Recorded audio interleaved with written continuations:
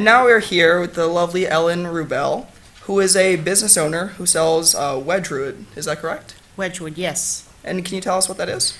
Yes, Wedgwood is um, English china, dinnerware. Okay.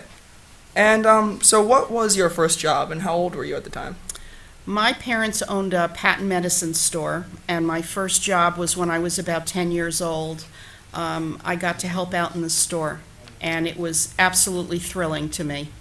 And uh, that's lovely. What did you do at the store? Did you help with papers or? I helped with the, the afternoon newspapers. Um, they would come in, and um, there was cubby holes where the neighbors would come up after the papers arrived, and the papers were put away for them. Everybody had a cubby hole with their name on it. So I got to roll up the newspapers and fill the cubby holes. Did you get that job through your parents? I would assume because it's their store. Yes. All right.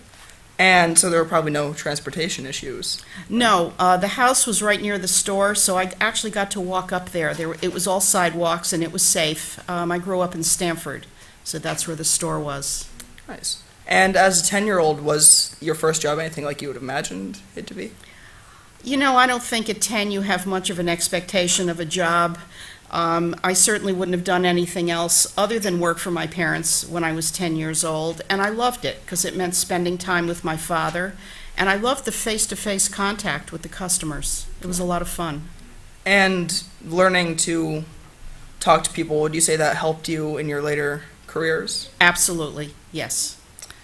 So, if you could use one word to describe your first job, what would that word be? It was exciting. Exciting. If you could do it all over, if you could go back and have any first job, would you choose that one again? I would. And are there any tips that you might want to give to people who might be looking for their first jobs? Yes, I would say be willing to listen to people who have been there and done that, people who have more experience than you, and take criticism constructively. Don't take it personally, because whoever gives you um, tips and ideas about work is only trying to help you, because they know better. That's true.